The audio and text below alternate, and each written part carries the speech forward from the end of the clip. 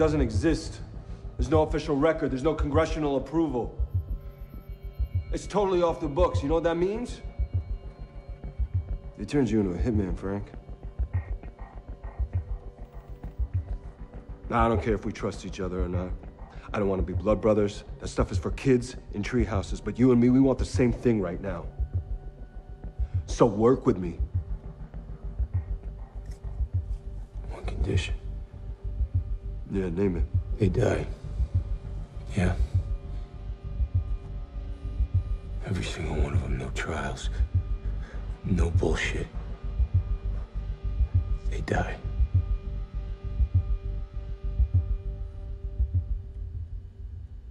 Yeah, I can live with that.